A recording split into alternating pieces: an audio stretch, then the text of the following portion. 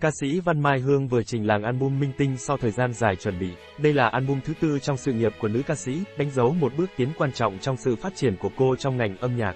Văn Mai Hương đã có sự đồng hành quen thuộc của nhạc sĩ Hứa Kim Tuyền, và bộ đôi này tiếp tục mang đến khán giả 8 ca khúc đa dạng. Những bài hát này lấy cảm hứng từ những câu chuyện tình yêu có thật và bộ phim nổi tiếng. Trong số các ca khúc, Nam bán cầu, nổi bật, lấy cảm hứng từ chính câu chuyện tình yêu của Văn Mai Hương. Cô chia sẻ về những cuộc tình đầy kỷ niệm ở Úc và cảm xúc của những mối quan hệ xa cách. Album này được coi là một bước tiến quan trọng trong sự nghiệp của Văn Mai Hương và tiếp tục thể hiện sự đa dạng và sâu sắc trong âm nhạc của cô.